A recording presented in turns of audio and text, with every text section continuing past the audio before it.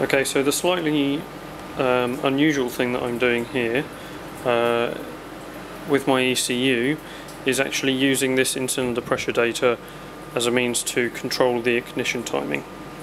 So with a normal ECU on most cars you would find uh, that the ignition timing is purely controlled from a map so that might depend on things like the engine speed and the throttle position as a simple example.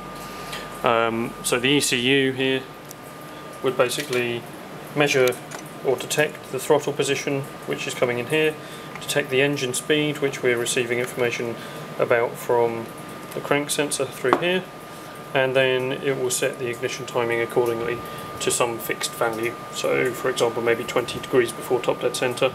At higher engine speeds it uh, might increase that to maybe 25 degrees before top dead center.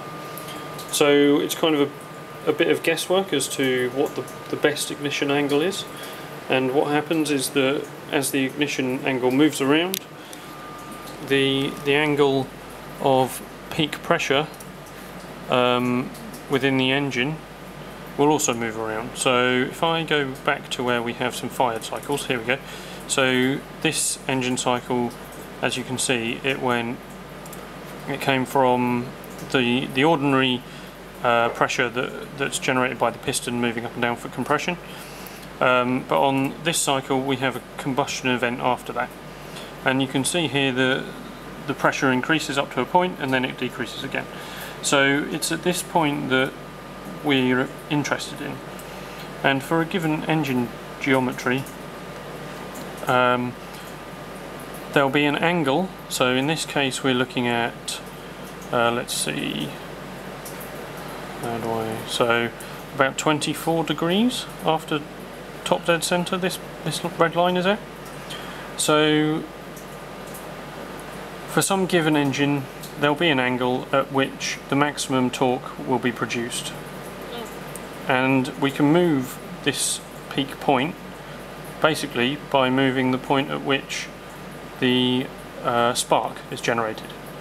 So in this case um, we have a, an ignition coil signal and so the ignition coil is switched on and then it's switched off and the spark happens at the falling edge when the coil is switched off.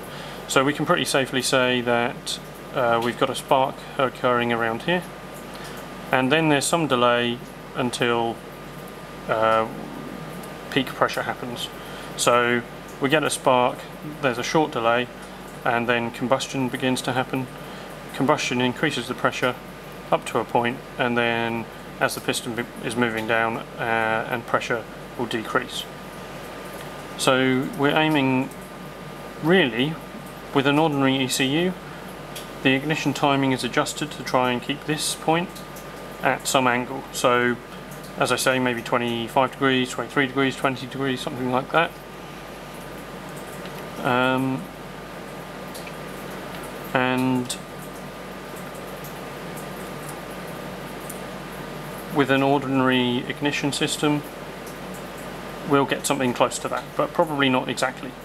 So what my my uh, kind of additional part of my ECU does is measures the point at which peak pressure occurs so the angle. In this case um, 23 degrees 25 degrees now I've moved the signal I think somehow. Anyway um, so it measures that point and and then adjusts the ignition timing to try and keep this point at some fixed angle. So I might be able to set that I want the point of peak pressure to occur at 20 degrees or 25 degrees or 30 degrees. And my ECU will be able to adjust the ignition timing to maintain that. And that's what this uh, device here does. So it's not connected up at the moment, but what it would do is connect to this box, which is in turn connected to the optical encoder on the engine. And this optical encoder sends pulses through this wire oops, and into this box, which then sends those pulses into this microcontroller and every time it receives a pulse it records uh, the pressure. So it won't be quite as good as what we're seeing here, but we might get a, uh, a pressure point here, and then here, and then here, and then here, and then here, and then here. And what this microcontroller is doing is trying to work out where we get that maximum, maximum pressure occur. And then once it finds the maximum pressure within the cycle, it then transmits it via a serial connection back to the ECU here. And the ECU compares the angle that we found with the angle that we wish to set. So this one, point of peak pressure. In this case it's 20 degrees and if it's uh, if it's too much then it will adjust the ignition angle accordingly and vice versa. So in this case we might say well peak pressure has occurred at 25 degrees um, but we wanted it at 20 therefore move the ignition uh, angle back by 5 degrees. And so the idea behind that is that we manage to maintain the ignition timing for maximum torque at all times.